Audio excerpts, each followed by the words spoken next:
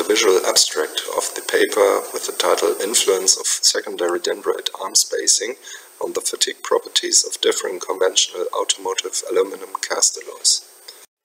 The motivation is to combine fatigue life data and microstructural data to get a model for an existing boundary element method, so a short crack propagation simulation. And with this, we are searching for a more fatigue-resistant microstructure for cast aluminum alloys. The materials we are investigating are coming from industrial in-series castings of engine blocks and cylinder heads.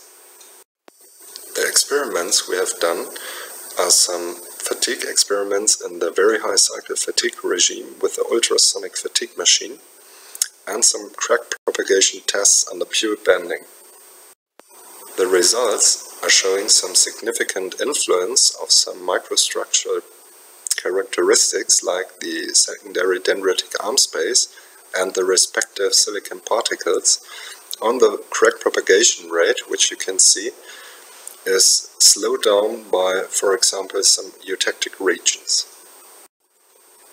Further, we can use the crack propagation data and the fatigue data to combine them and to generate a threshold diagram by Kitagawa Takahashi.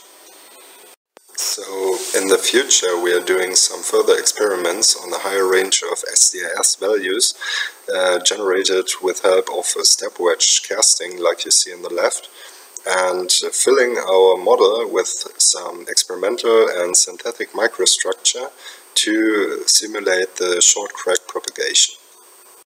So if you're interested, contact me and thank you for your attention.